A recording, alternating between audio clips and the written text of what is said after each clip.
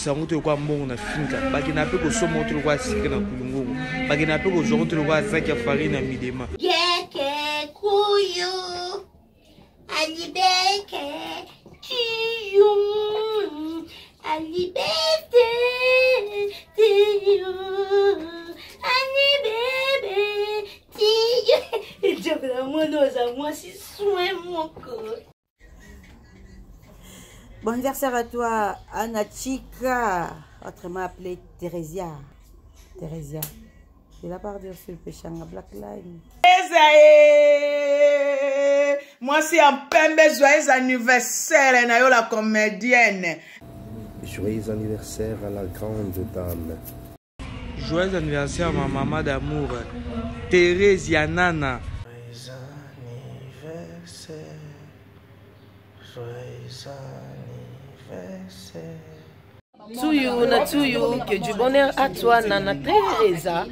Joyeux anniversaire, joyeux anniversaire à ma grande sœur. Joyeux anniversaire à vous, maman ni maman, ya Anna, ano ya biso. Joyeux anniversaire, eh. Nana Teresa. lelo eza mokolo na yo mingi bobotamaki bakomi te me yo komi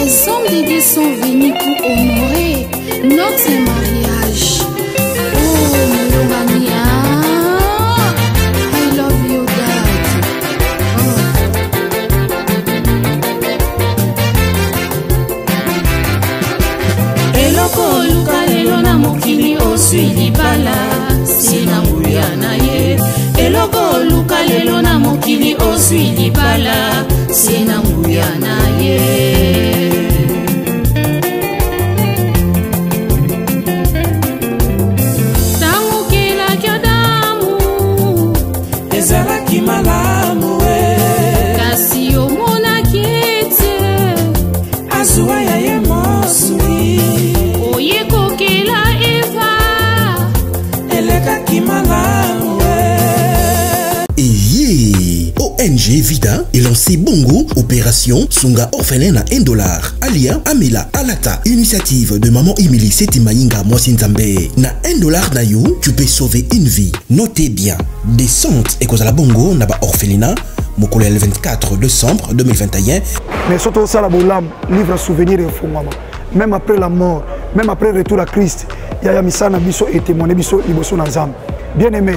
totala ong vida organiser activité 1 dollar mpona kosunga orphelin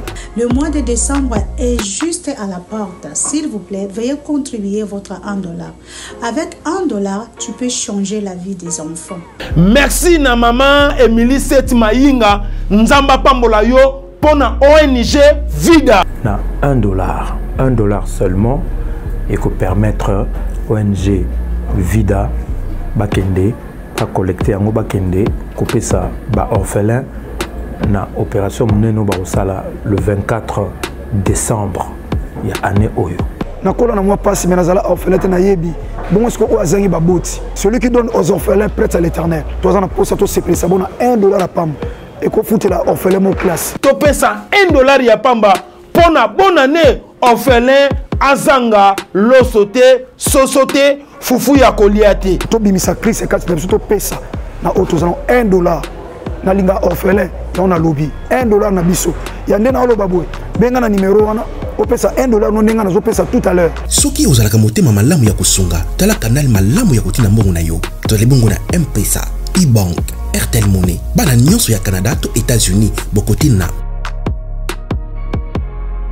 oyo akoboya kopesa 1 dollar na ong vida mpo na kosunga bana etike faso na kopapolela ye akolapa se le pasteur liteya kanda motakala na nkolo santé nationale puissante chez docteur kati munga kombo na ngai sœur kati munga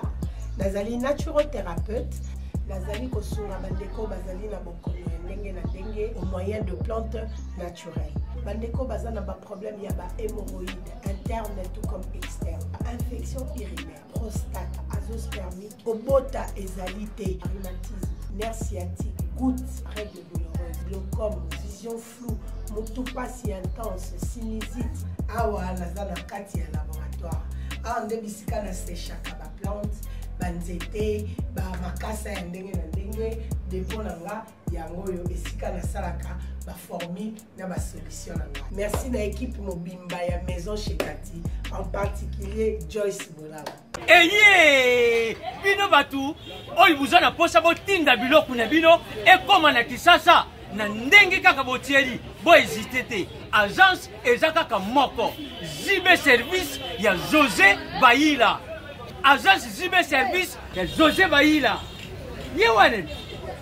azalaka mundele te azalaka mutu mwindu na moment ya confinement zibe service amemeli biso biloko na biso na mbula moko conteneur ekoki kuya 6 fois 7 fois 60 fois agence na europe mobimba etikala kaka moko zibe service eza na reine banimero ya kobenga yango wana kobenga zibe service eza kosala mosala awa na kisasa eza bongo place ya kobunga te na saint therese na nsima ya station mbala moko oza mobimba afasi na yango la police zibe service eza wana bana biso toza kaka na kisasa te toza na angola toza na braza toza na mbanza ngongo toza na matadi toza na boma toza tinaka lesti bango na moma ya confinement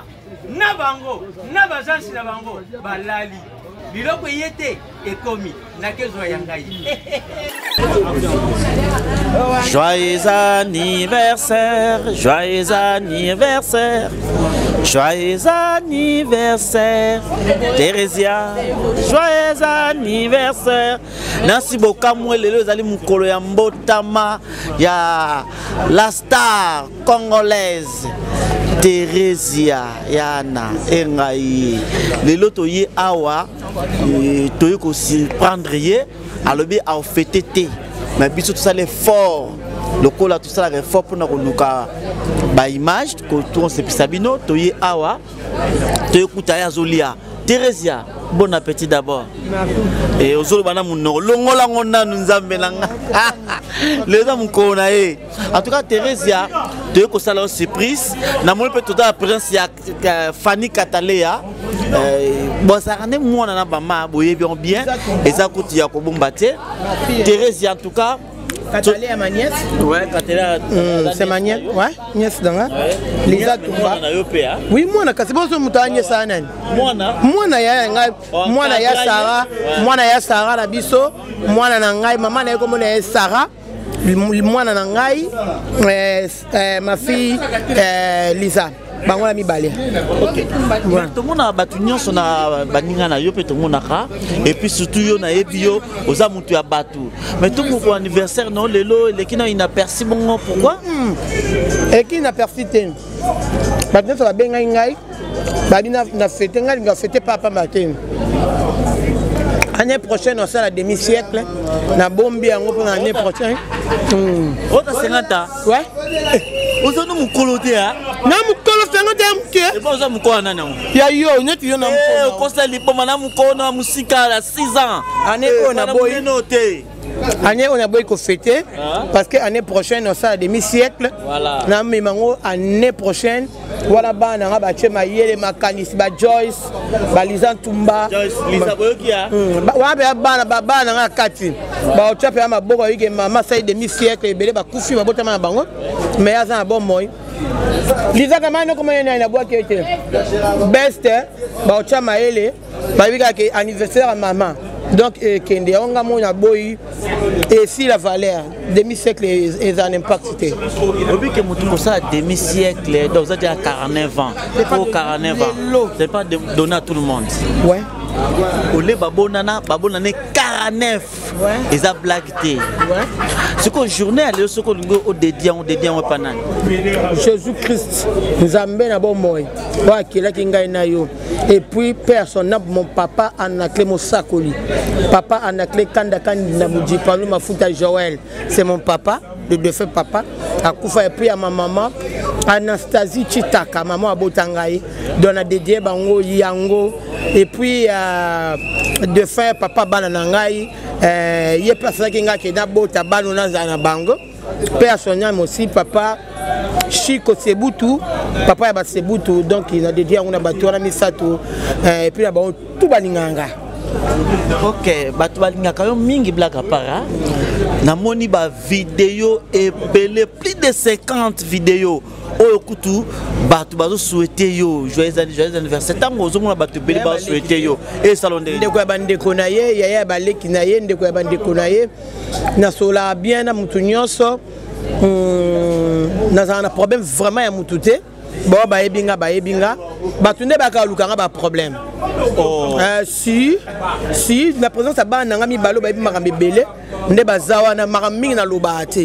naotyo bana bato mona bi mokolo ngai nalongoli theresia mpo makambo oyo tosalaka nde bopesa nga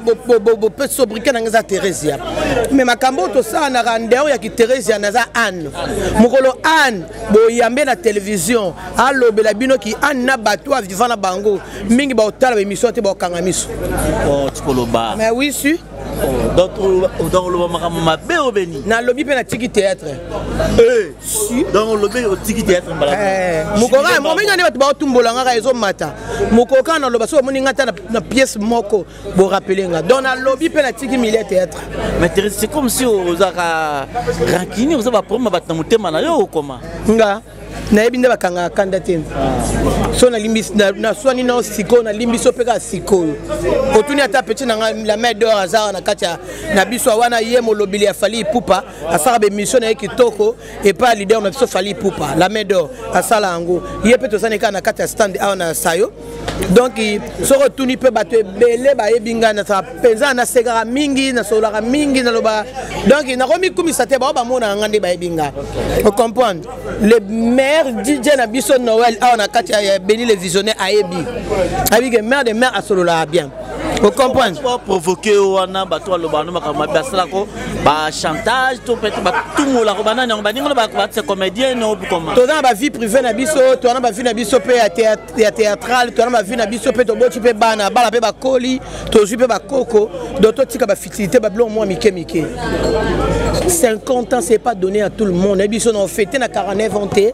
ntango nalobi 50 ans bavoisin na ngai bazali moseka ye wana moseka igete voisine na nga baokamwa abi na nga yo oza na 49 nga bi wi nakokisi 49 ans na ofete 50 ans année prochaine ebi na kamwa obomi mpe na age no te mpo ndebi bino basi obomba ba age etali bango ebongo nga na liza akoli bo na fani mokatale ya maa minene bo na bomba age dieu merci ape nga koko koko na nga kokisa ye 8 ans epuis kotala katale ya ebakata mama wana simba ebakata wana age eza nanu ye aza nano na age ya moke ebakata boka aza mokolo te eh. Eh, aza na mwa moke na age na ye mpe na tv Eh. eh, mais oui ana mwa moke liza mpe mwa moke ngai nde naa mokolopesana atyaka mpe monoko makasi pesana na piage na ye te na piage na ye te aa mwa moke moke makasi ngai nabokoli nalambeli ye fufu naobete nzambe alolaazalaka nango ebebele wana mona moke hmm. biso moi ngai makambo nasala bano na ndako mosusu ondima te oza mamati ah, voilà parce que bana miso ya kitesitese baosala yango te mai ngai nabeta bango na banjeta fufu nalanda bango naleisa bango libanda nakangi bango pote mai balai na kati ya lopango mai balai libanda hmm? olanda mpo na éducation oke feti samedi osengi nzela lelo ozo informe ngai tosengi ngai nzela oke te balela balela balela balela Eh, ah, ye aza nde ye moko libanga naboye mpasani naboya ata pa tonton roland te nabwaka ye tonto rona na nga makambo to kitoko ka en tout cas bo comprendre biso eza esengo ya Teresa malgré fete te mais lelo toye to se prendre yo oyo nyonso bosolo eza fete na biso toye provoquer mbala moko voilà abi c'est pas promo nde makambo vraiment c'est pas promo makambo na sepe komona yo na sepe komona eh, Tadi Ngalapa na mesa komona nani Ivi Pan en tout cas bosenga surprise moko esalinga bien makasi sikoyo so totali te soki totali theresia soki totali theresia abotami bato bamoni theresia yo akantiame na famille cinquième cinquième yali oza c'est 17 personnes ah bon ah papa ça mosala vraiment ah, papa c'est 17 personnes nga na cinquième mwana mama babota biso mama mbale toa 17 moko na biso akufa mpe ya son nom papi mokendi pardon toa na deux papi papi ilunga na biso akufa Euh, mwana ya mama na biso mwana ya papa na biso kote ya mama biso biso ya liboso mais c'est 17 personnes na 5 kotikala 16 therese bato amoni therese ya lelo ya kosi 49 ans therese ya aza kinoise to therese abotamaki moluba mpenza kinoise nabotama awa na hôpital ya quartier 7 na njili oh, njiloise mais naza mwana matete oh. un natif de matete mais nakoli na lemba voilà, voilà. tolongo na matete na na 9 ans tokoti na tolongo na camp gd mwa papa azalaki militaire tolongo na camp gd toye na lopango na biso na lemba ti lelo nde sika Eh, bandeko nyonso famille momba baza kuna therese ya oyebaka so bacamarade no bozali nango bomwana oui ben, mes condoléances à donc ami d'enfance bebe mputu akufeli leki na ye bato bamoni ngai na poster yango na, na, ba, na facebook eh. eh, tete mputu wana mpenza leki na ngai namoni ndenge abotami na ndenge akoli eh, que son âme repose en paix leki na ngai napesi famille mputu bacondoléance na bango bebe mputu ya sandra mputu bango nyonso tu bamingi baa na poto bacondoléance na bango made ami na ngai d'enfance eh, eh, jeannette moenzi ami na ngai d'enfance ilo pablo ami na ngai d'enfance eh, kas kas ami na nga da france do bakamana na nga base ebele na ye babango tilo mpo tozalaka na réunion na biso eh, lombi mayambo oke theresia otanga biso ntango tokola totangaka na beni ami na nga ami osiko na te mpenza ami na nga da france tilo tosola angel kimbeni totanga na ye classe moko ti lelo tosolaka ti lelo toya bien bana na biso bakoli mama na daniela mama na eh, mwana liboso komoni eya lokola neti nga boye natangaki na marquer Mm. na yolo site mm. donc naza ngo na marquet tozala mpe na organisation na biso ya bana marquet na laiki wana mais sikoyo yo otanga na ekole nini ana kishasa natanga baekole ebele natangi na bumba mwaso natangi na baumbu na matete tokenda male malembe na bandeko primaire gardien to maternel te mais gardien mpo toyebi biso toyebaka bagardien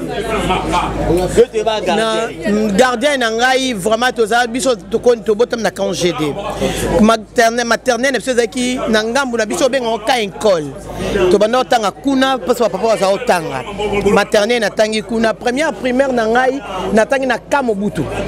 na ka mobutu eh, ka mobutu bato bayebi yango epuis après wana grand frère na ngai eh, cousin na ngai aye kozwa nga mu ya makila nakefana na lingwala na bulungu na bolongo wana na bolongo epa grand frère na ngai banda afanda wana nake wana akotisi ngai lisusu na ka kalufungula nde mpasi nazwaki certificat na ngai na 6 primaire après naye kozonga epai na biso ntema nazalaki mwana ya liboso ya mwasi epai ya baparent na nga na lemba tosi tokoti na lemba voilà nazongi epai na biso na lemba papa biso bando alinga mpenza déplacement na nga te naye kozonga epai na biso nde naye kobanda eh, première na ngai seo na bumba mwaso eh, deuxième seo na bumba mwaso après naye kobanda asala coupe ekuti eh, baye kokotisa ngai na centre ma mobutu oyo ezala na limite 13e ri eh, sikoyo tema nazali mwana moke na mokuse makasi bato baosekanga o mwana moke na bajipa milai boye naboyi na ngango naye oboyi Oh, eh, eh, oh, eh, naza kokola mokuse te ngai natika ngo kasera bajipe mokuse bavert vert wana natika ngo ka basera bavert vert natangi wana après Eh, naye koboya yango naye kolongwa grande sœur na ngai ya mwasi cousine na ngai ya angele na biso na matadi napesi ye mbote mingi na papa mwamba baye ozwa ngai nake matadi epa grande sœur na ngai bakotisi ngai na itecom soyo na matadi natanga kuna na itecom soyo napesi lusinga mombote kamara nanga totangani kuna 3e napesi mpe kamara nanga mosusu musafiri mbote bao nde nakanga na bakombo mpo ti lelo tokomanaka apres ale eye kosimba te na sepe na matadi te bangomba bani banini bazongisi ngawa naye baye kokotisa ngai na ekole oyo nini baumbu na matete baumbu ti naye kozwa mobali na ngai papa bana ngai defunt mari na ngai aye kobala ngai ezalaki baserie moko ya bane blanche moko esalamaka eh, soki abinanga a ah, nazali mwana moke ane blanche otanga nao lisusu te eh, babala babali ngai eh, babali ngai mpe nake na ngai libala après mobali na ngai ekokufa naye ozongela sous classe nde nasali 6 na ngai na mokengeli nazwa diplome d'etat na ngai na ngai ya d6 C'est comédienne euh, euh, Thérèse Abo comprendre biso toza na tokuta ye hein na kermesse bo comprendre biso bo comprendre biso makelo hein, bo en vouloir biso vraiment te bo excusez biso euh, parce que place bazali mutu soza libre aloba tokoko kokanga bato minoko te Theresia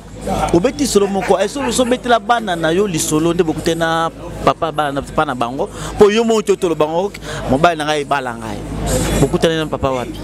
eh, ah, kayo mira mobali na nga tokutana na ye boye eza vraie histoire hein? ami na nga magi magi bana na nga bayebi ye ami na nga magi azalaki na mobali na ye nkombo na ye frank frank magi azwi ngai nake kotika ye na ville ataya mobali na ye toki otala mobali na ye na ville camarade ya mobali ya magi aye otala frank nde mobali oyo abalanga donc ngai nayaki kotala nake otika kama na ngai mpa copain na ye copain ya mobali wana aye kotala copain na ye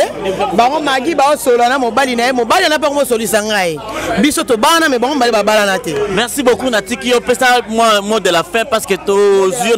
merci na bato nyonso basuete nga bamama nela bakarine manesa bon gerson na yo eh, ma copine privée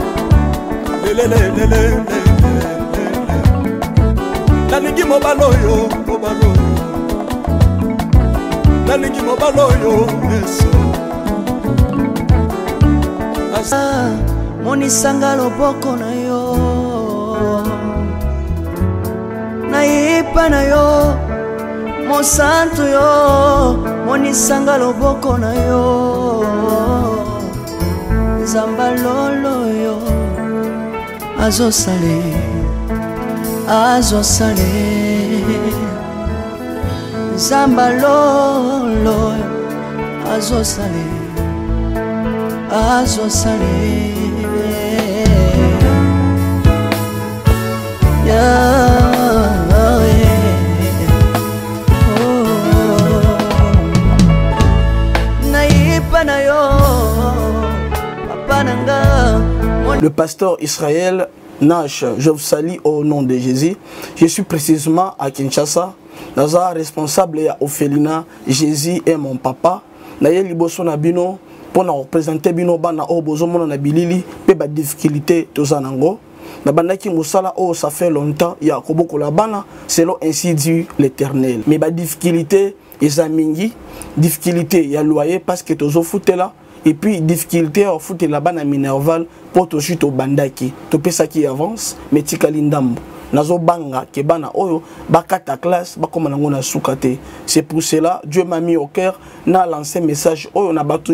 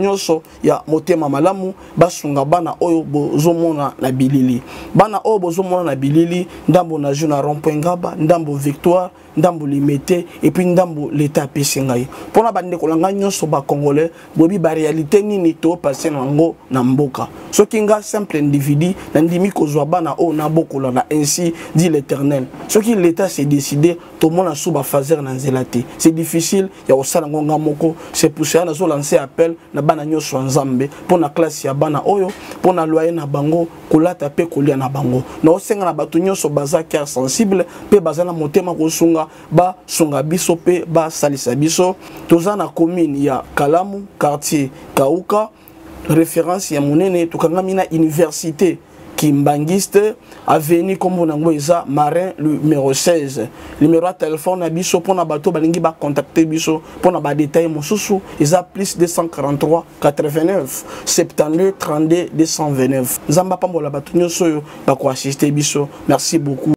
Très joyeux anniversaire, bon anniversaire, jovial et petit anniversaire à toi. Na lingala mbotama elamu à ma sœur Theresia Anna Chika. Nana, donc, euh, maman présidente, le jour na yo, le jour qui t'a vu naître, en tout cas, pour Nangaï, nazo souhaité yo plein de bonheur du monde. Toto Pambola Nzambe, oyo abateli yo, abakiseli yo une année de plus dans la vie, parce que il y a des gens oyo mpe bokotama na bango baza lisusu te en vie mais que tu as trouvé grâce aux yeux de l'éternel nzambe abateli yo apesi yo bomoi en tout cas eza mokolo mpo na yo oui okosepela mais okokumisa nzambe eh, si l'éternel ne garde celui qui garde 20 en 20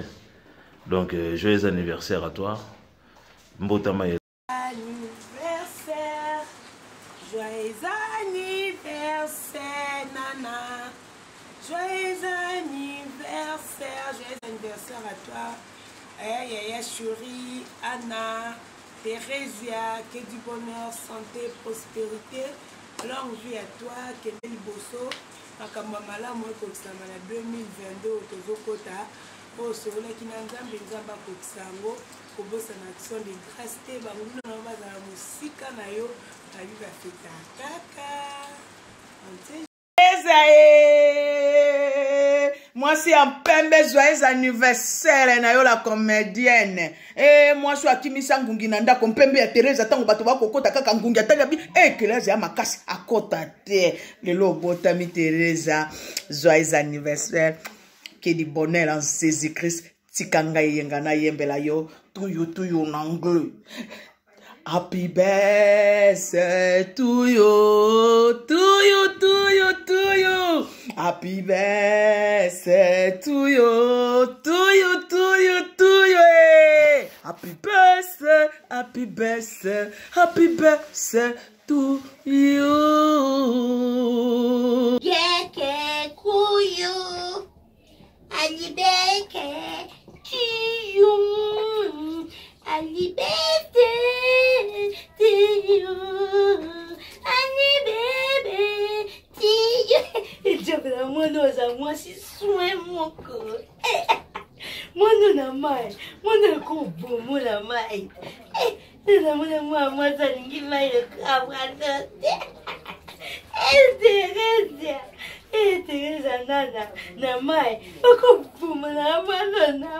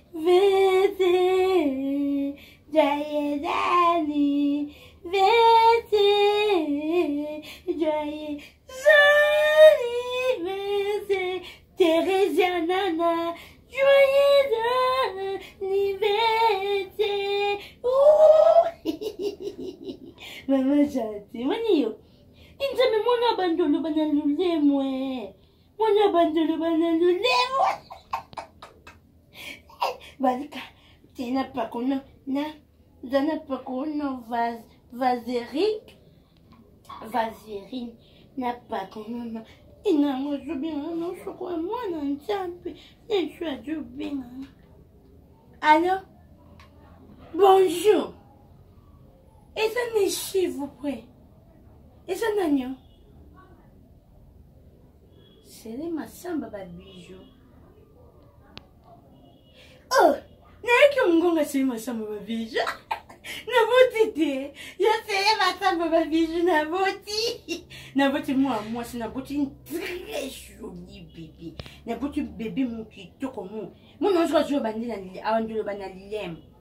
napesi kombo na yo te napesi kombo teresia nana napesi kombo na mpo aza artritre aza artritre incarnationnaire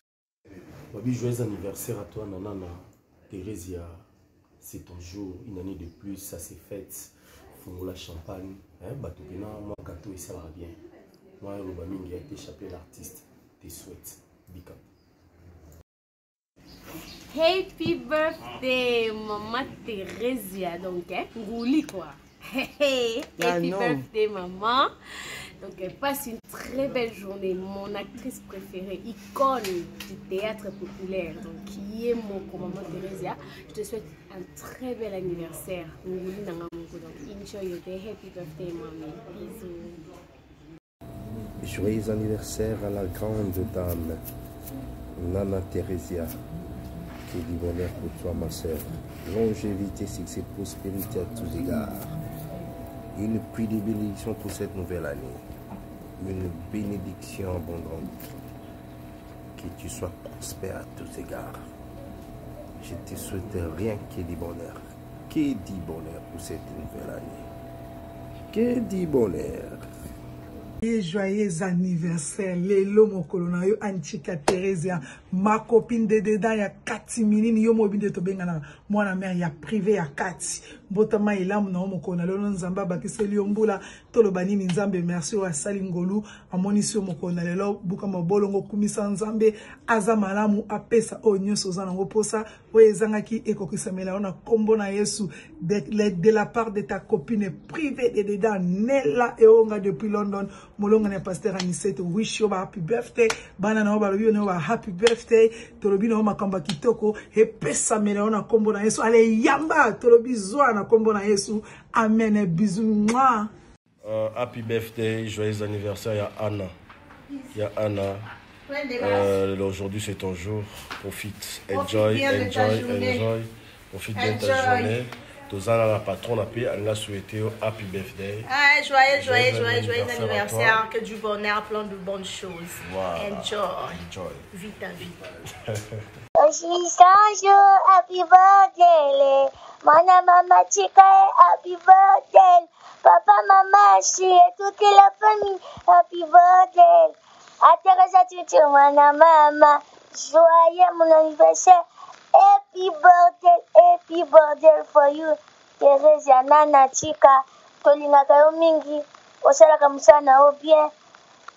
Un maman qui se respecte pas une c'est un maman qui se respecte tolingaka yo kaka bongo tika de nous longue vie na yo nzamba lola abombo abatela yo kamata bes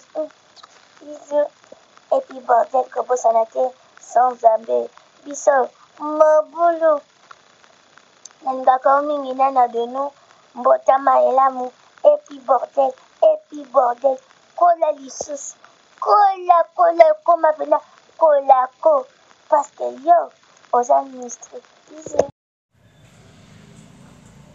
Une année de plus, à s'est fait et une bougie de plus, ça s'est soufflé.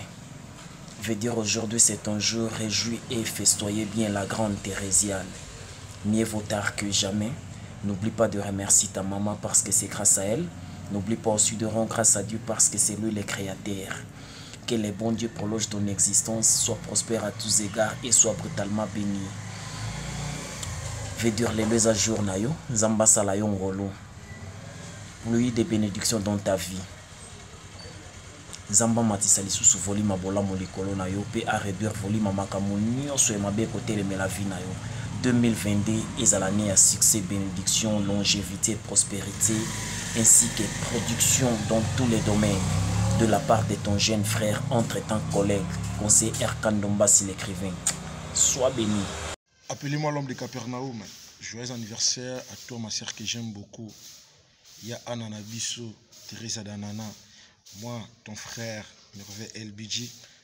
Je te souhaite que du bonheur. Que du bonheur. Yana na biso, Teresa Danana na biso. Rien que du bonheur. Liam Mila Sepila. Mais n'oublie pas de prier Dieu car mingi tobotama na bango basila kokufa. Rien que du bonheur, ma grande sœur que j'aime beaucoup. Bisous.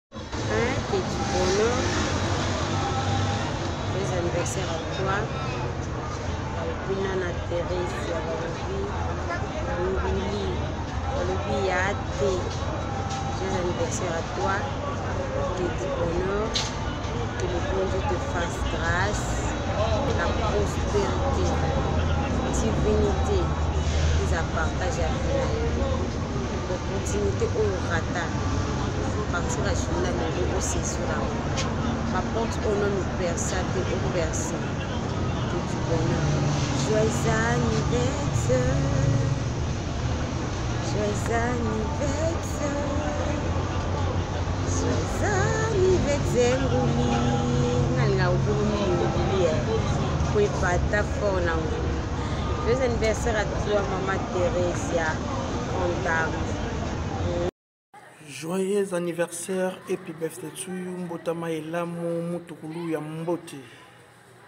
ya Anna Theresia. Que du bonheur à toi, longévité, prospérité. My God bless you de la part de Dieu à Mosée.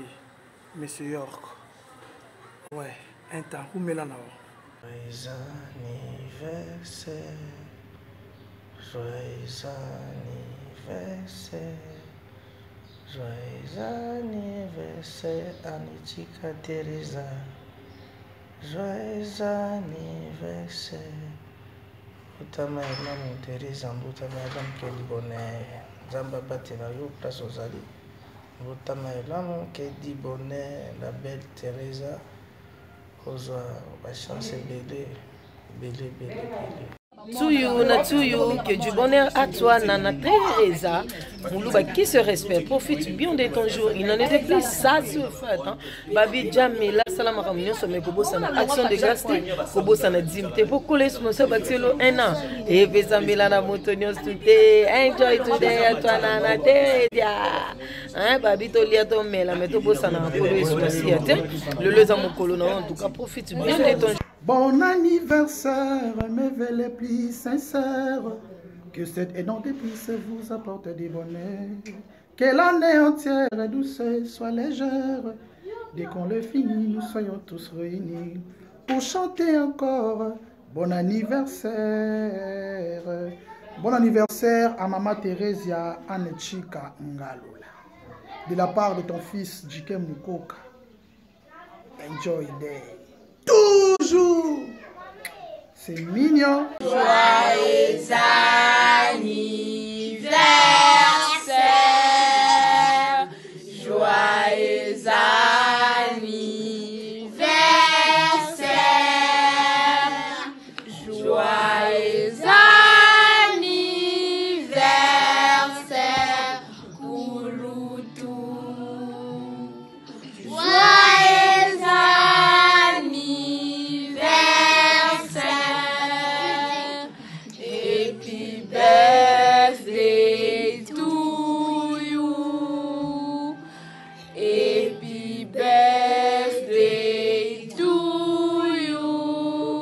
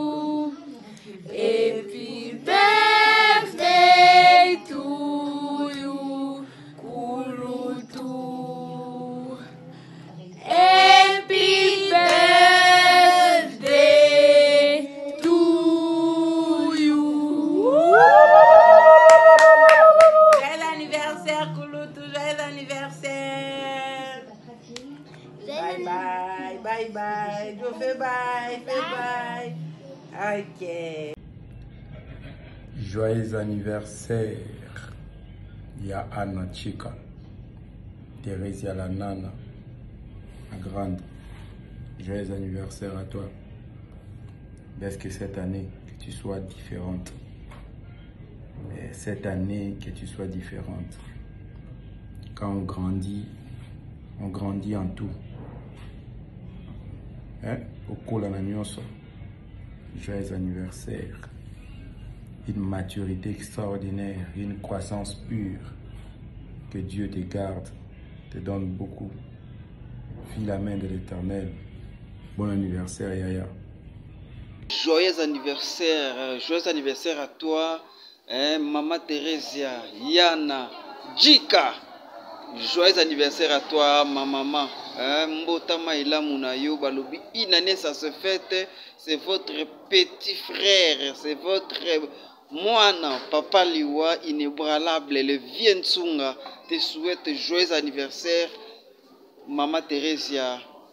Eh, Yana,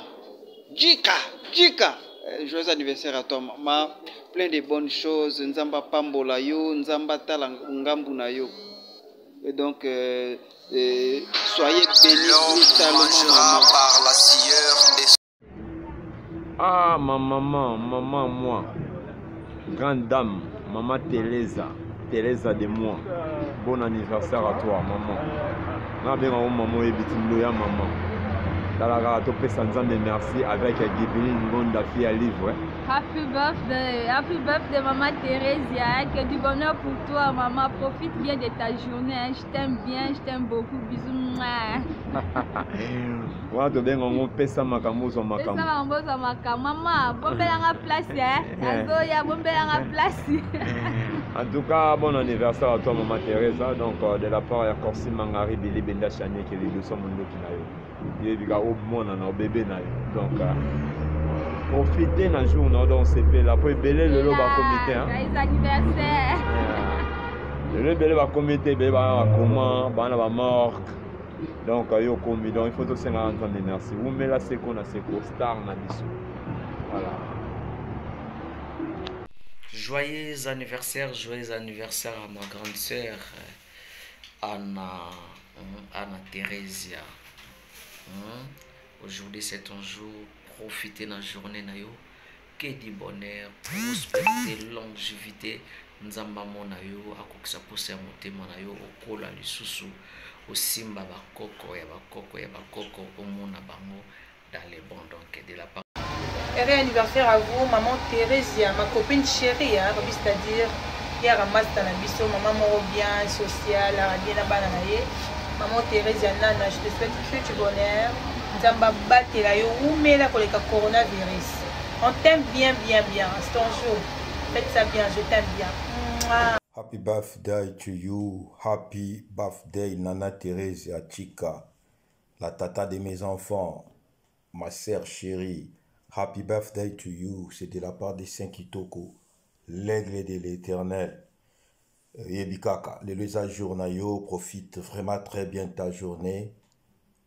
Que Dieu te fasse du bien nzambe asala yo bolamu ebele nzambe asala yo bolamu nzambe akamwisa yo hmm, c'est de la part de l'aigle de l'éternel oyebi kaka yo oza moto ya bato ebele toyebi ke bavideo ekoleka ebele nautaki classe na, na theresia nautaki classe mais so eza te mpo na yo ifo tosanjola yo osouffle bougie okata gateau na yo bien bana bayembela yo mokili eyembela yo bastar bayembela yo oyebi kaka nana theresia ya biso ya baaigle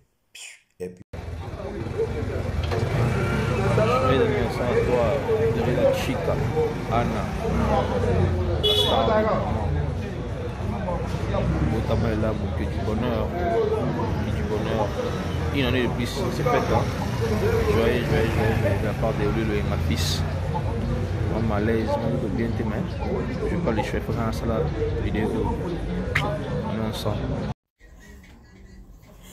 Bon anniversaire à toi, Anna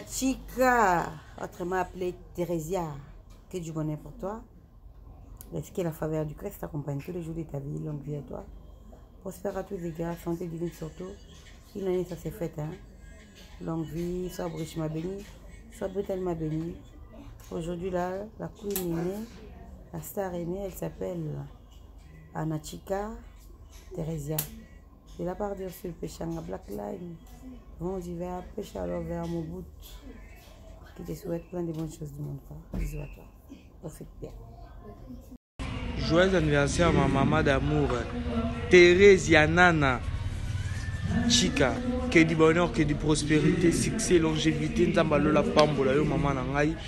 kende liboso makambo nyonso ya kitoko epesamela yo mokolo ya lelo epesameli yo epesameli bato nyonso te nzambe nalingi okoma mokolo ya lelo prospère à 12 égard bonté réussite place nyonso otia makolo epesameli yo nyonso osimbeki liboso zala benediction mpona mokili mobimba moi ton fils uteseki ala papa monoko na suete oka babonne ma mama d'amour donc journal oyo mpenza badefisa yango te lokola mbongo na finka bakenda mpe kosomba yango te lokola sika na kulungongo bakenda mpe kozwa yango te lokola zaki ya farine ya midema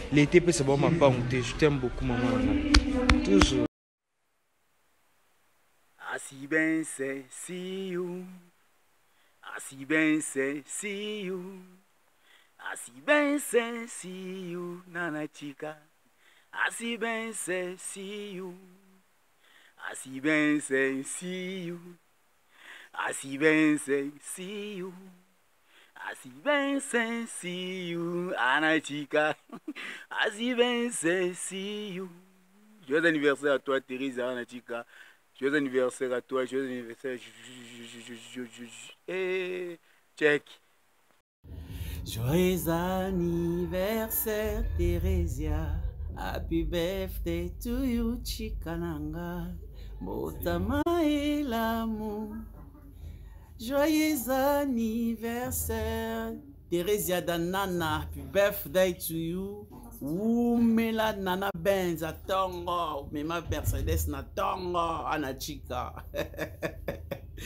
dani akoleka yo tala kaka yo wumela na nana benz theresia nzambe na lola pambola yo mosala toujours kitoko ah, yo oyebi de la part de jerry lewis mboye le choix de l'éternel ai wumela Joyeux anniversaire eh. Nana Theresia lelo eza mokolo na yo mingi bobotamaki bakomi te me yo okomi vraiment nzambe abakiseli yo mbula moko na kati ya mbula na yo loba na nzambe merci tika sagesse intelligence succès élévation finance elanda yo banguna no bakoma ba escalier na yo joyeux anniversaire bisous ciao epi birthday to you mbutu kuludi ya mbote mbotama elamu na yo nana chika theresia na biso ah, nana chika mwana muluba wetu abotami lelo kedi bonheur ma grande naoswete yo nyonso ya malamu nzambe alola kaka na vi na yo ekokisama en tout cas lokola mosali ya nzambe naodeklare pe prospérité santé makambo tutututu ya malamu ebila yo Nzambe oyo asala likolo na se alongola un ans un ans un ans un ans na vie ya ba jaloux na yo nionso abakisela yo yango parce que na makambo osala na ngo wumela epbfdaic. Muninga ya generation na nga camarade na nga ya dedans ma confidente ma maman chérie une sœur pas comme les autres Thérèse ya Anna de mon cœur na Anna de moi-même joyeux anniversaire à toi Thérèse la star profite bien de ton jour nzambe na nga apambolo lisusu davantage apesi ezali mposa ya motema na yo ane oyo operse lisusu baprojet na yo nyonso ekokisamaki te na ane oyo ekokisama na nkombo na yesu nzambe amemo mosika hmm, nzala aigle oyo nyonso to akoluka yo na miso ya molili amona yo te nzambe abandi misu na bango eh, mama mozala intarissable fleuve congo ekauka na yo ojala teresa motema malamu na yo emoniso bakokololo de la part de la startuse ma propre masami l'esprit la mon capitaine joyeux anniversaire à vous mama ni mama ya ana ano ya biso mamu therese ya mbotama elamu na yo lelo mokolo na yo lelo eza mokolo tokosala yango lokola toomata na sote mouton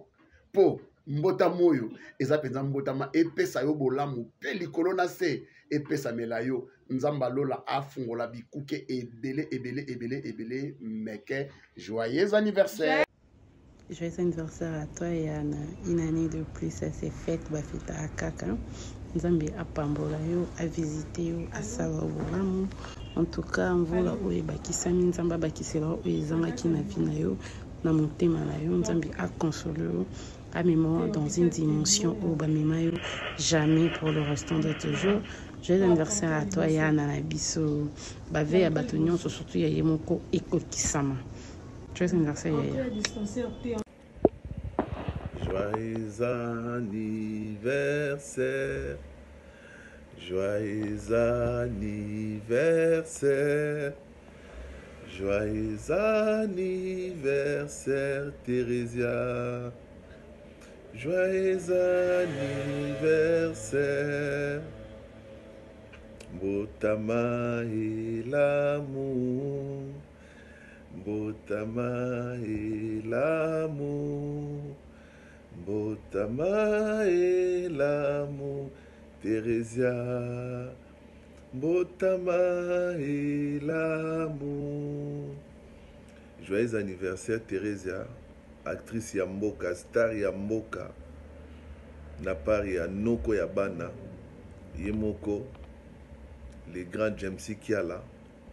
donc tala kaka grand frère no a pense na yo ayembeli yo nzembo atindeli yo joyeux anniversaire parce que yo oza ya depuis longtemps depuis longtemps donc euh, famille na nga donc euh, nzambe amema yo mosika na mosala na yo nzambe aprotege yo nzambe apesa vie molai nzambe abatela yo na makambo nyonso bato ya mitema mabe wana baesprit mabe bakende mosika na yo